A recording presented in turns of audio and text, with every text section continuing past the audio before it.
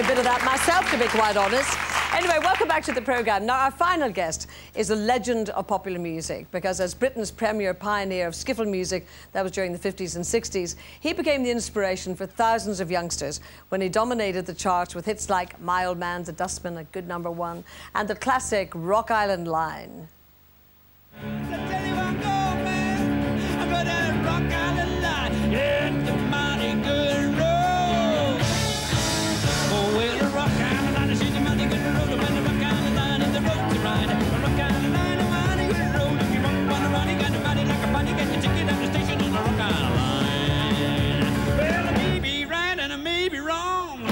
Miss me when I'm gone. I'm down a rock and another sugar money good and whenever kind of night is the road to ride. But what kind of night is mighty good road? If you want fun, money got your body like a funny, get your ticket at the station on a rock and a Fantastic. That classic style strongly influenced, of course, the rock and roll generation which was to follow, the most obvious being the Beatles. Now, at 70 years of age, he shows absolutely no sign whatsoever of slowing down, and he's currently on a 21-day tour of Britain. And I know you're going to give the biggest and most special welcome to Lonnie Donegan.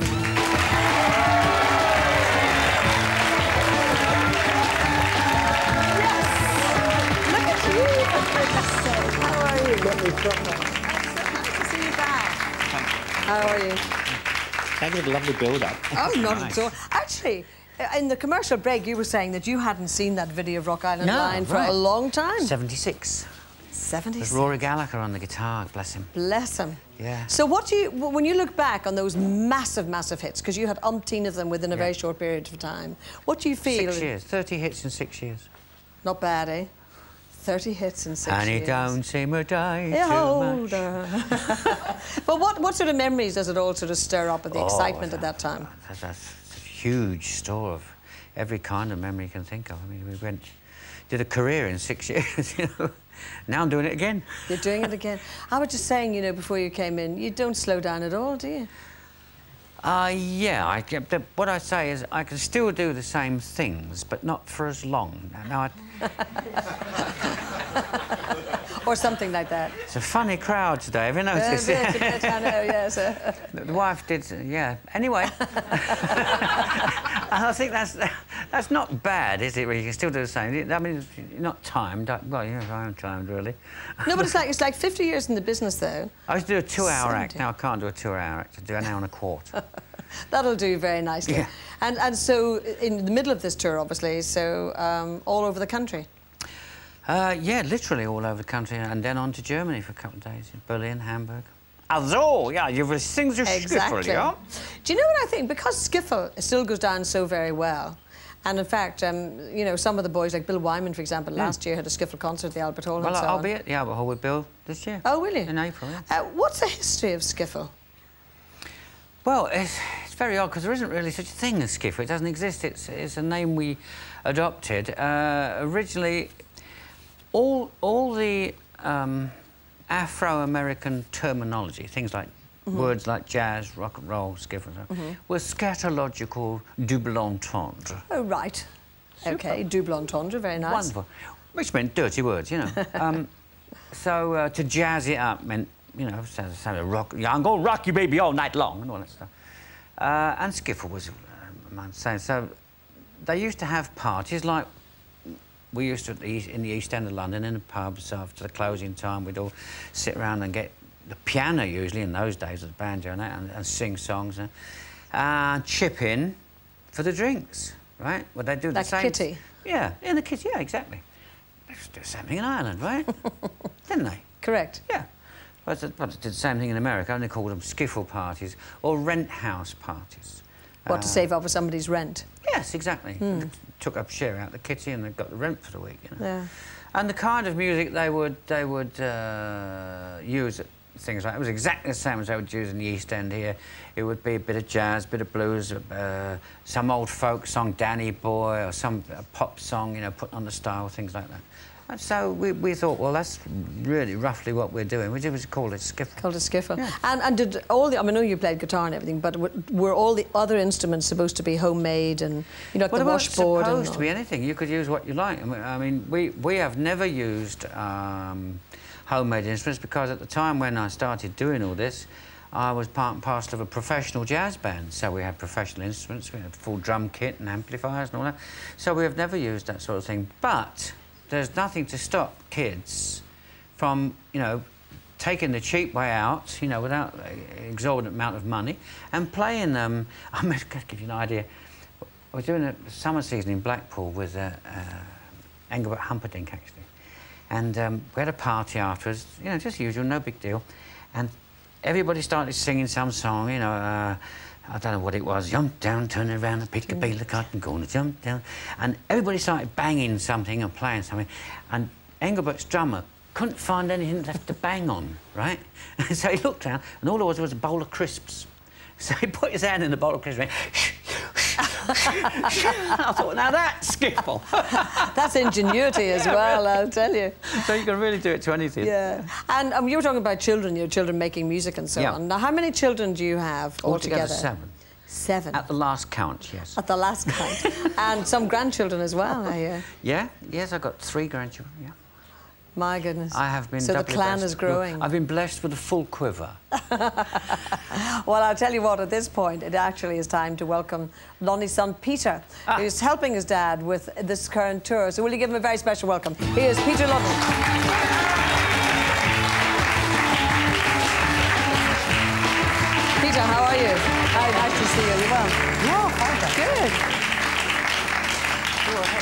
And your dad tells me that you can play virtually every instrument that's going. Well, give me a good hour to work on it, and I'll.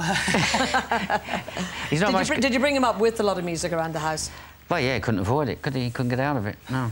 no escape. No, no escape whatsoever. I was just wondering, at what stage did you realise that your dad was an extremely famous man, you know, influenced the Beatles and all of that? Um, Roughly as he was coming out, wasn't it? it's never really hit me that much because um, he's, he's my dad, you see, and I always look at him as just my dad. Well, not just. Just. But he is, he is my dad, you know, so um, when, when I see him on stage, I mean, I think, you know, bloody hell, he's fantastic. And thank God he's my dad, you know. You never told me that before. well, I mean, you know. We have to get him on a TV. Pro- I think that's lovely. That's really nice. Very good. And did you like to go along to the concerts and everything when you were a kid? Oh yeah, love going around to the concerts. And uh, well, as soon as I started school, Mum saying, "Oh, you got to go to bed early." Why? I want to go see him work. You know. Well, I tell you what, when he was when he was a baby in the in the carry cot, he had to, he was, he was plonked in the dressing room when was doing a musical called uh, Mr. Cinders up Drury Lane. Oh, yes. The Fortune Theatre. And he spent uh, all his days in the carry cot in the dressing room, so he, he really didn't have a lot of He had did he? no escape whatsoever, did he? Actually, you renewed your vows not that long ago, didn't you? Marriage vows. Marriage Make vows, it yes. specific, yeah. Otherwise, I think I've taken the priesthood. So where did you go to do that? Where we got married, Lake Tahoe in California. Gorgeous place, one of the most beautiful places in the world. And the kids all there, of course. Oh yeah, oh yeah, So you enjoyed that particular wedding then, Peter? Oh yeah, I loved the wedding. Um, it's, it's the first one I really remember now. You see, they did it on a boat as well, which was really lovely. yes, we got. Of course, it's a really scenic place to do it as well, Lake So, Tahoe. yeah, so that was really important to you. Yes, it was. Yes, and and, and it was a big help for the wife actually, because you know, three kids later, you know, she's a bit tired and saggy, you know, so, and what, what I did, I. You're I tired and saggy, do you? this well, time? no, listen, three kids is a lot. You know, I don't care who you are. Uh, uh, just too much for me, I tell you that. I couldn't, I couldn't do it. My wife does. Could not do it. I've tried, and I can't, I can't cope. But um, So you thought time I- for a um, party? Well, I made, I made, I made a condition. I said, "We'll go back to Tahoe. I'll rent the boat. We'll go out on the lake, and we'll go all the, the original uh, guests who were there originally, right? Same best man, same best one, blah blah blah. If you can get into the same suit." And did she? Yes, she damn well did. Good for her. That's fantastic. I cheated. I let mine out. I must just get an update also on the medical side because you've had two heart attacks and three sessions Oh, no, of open heart no, surgery. Two, two heart operations. I've had Two heart operations. Multitude of heart attacks. Yeah, I just had one before when he was putting me through all the rehearsals over there. But I mean, do you feel uh, serious effects of that, or can you still cope with the tour all right? Well, uh, the answer is I hope so. Yes. Right. Um, do have to do have to watch for signs, you know, and just kick back and Slowly, slowly. Yeah, relax when it's necessary. Well, you've got no chance of relaxing this afternoon. I'll tell you, we're going to put you to work along with Peter. So you're going to play what the harmonica today. Harmonica. Excellent. So will you thank Lonnie for me and of course Peter? Thank you very much indeed. I'll let you go across to get organised. Yeah. Brilliant. Thank you. Well done.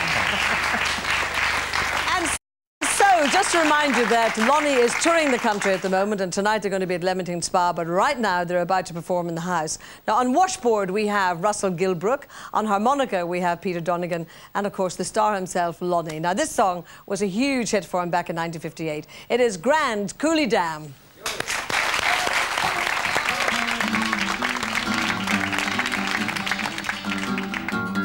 The world holds seven wonders that the travellers always tell.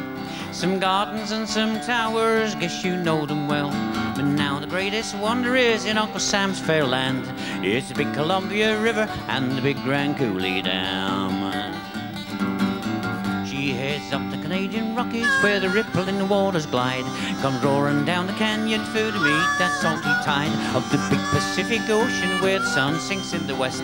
In the big Grand Coulee country, in the land I love the best. In the misty crystal glitter of the wild and windward spray. Man upon the pounding waters and man a watery grave. Why oh, she tore their boats to splinters when she gave men dreams to dream of the day that the Coulee Dam will cross that wild and wasted stream. Now, Uncle Sam took up the challenge in the year of 33 for the farmer and a factory and all of you and me. He said, roll along Columbia, you can roll down to the sea. But river, while you're rambling, you can do some work for me.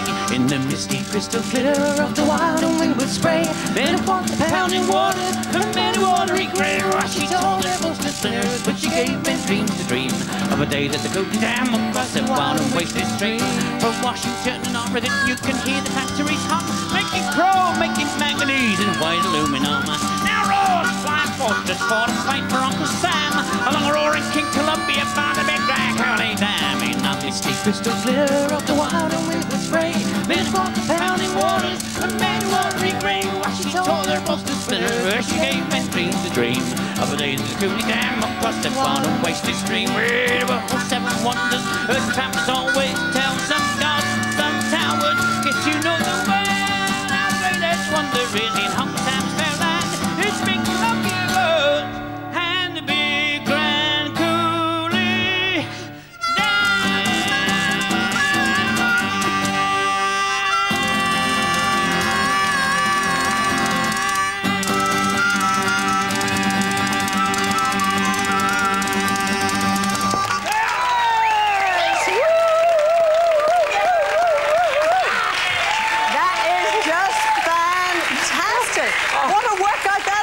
goodness sake. I tell you, that goes at a rate of knots.